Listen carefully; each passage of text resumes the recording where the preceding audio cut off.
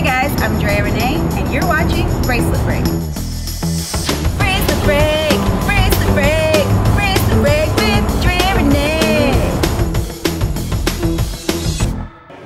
Johannes Becker, sit next to me.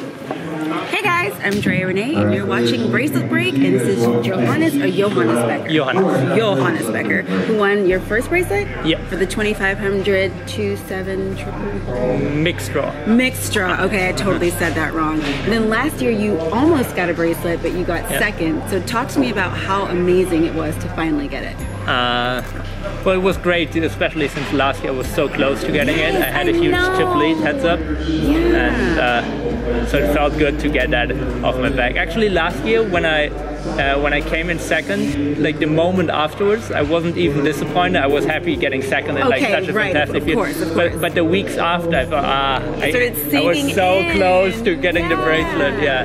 And talk to me about how you felt when you sat down. You had a pretty tough final table. Yeah, yeah. I, I was uh, the short stack or average stack most of the time. So I've, I've never been a big stack until three-handed. Yeah. And then three-handed at some point, Scott had like 75%, 80% of the chips. Mm-hmm. So I, I was kind of just hoping to get that second place. And then I just started catching cards and uh, had an amazing run. And even before anyone busted, I was like the huge chip leader with like 75% of chips. Did you have a chance to celebrate your big win?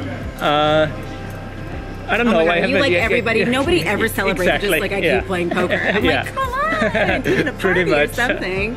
Yeah, I'm not that much of a party guy, so uh, I don't know. I'm usually I celebrate having a nice dinner, but actually we didn't even have that. Oh my God.